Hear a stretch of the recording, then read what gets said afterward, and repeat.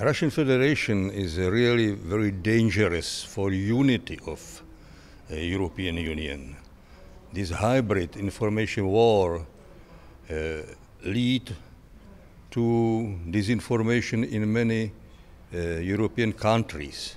A former war correspondent who covered conflicts in the former Soviet Union, the EPP group's Jaromír Štětina speaks on a different kind of war he says Russian President Vladimir Putin is waging against the EU hybrid warfare. The aim of this war, of this disinformation, is to divide uh, European Union. And our duty is to do something against this. At a public debate he hosted in the European Parliament, Štětina invited officials and analysts to discuss the extent of Russia's information war and how to fight it.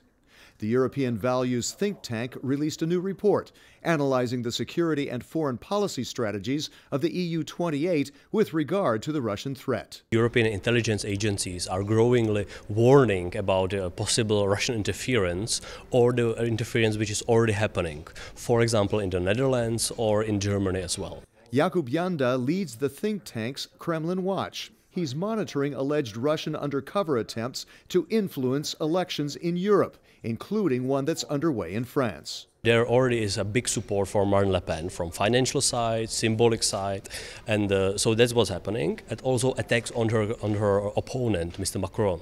So they are attack, attacks through disinformation channels, through efforts to hack his campaign. So that's clearly how Russia tries to interfere in the French elections.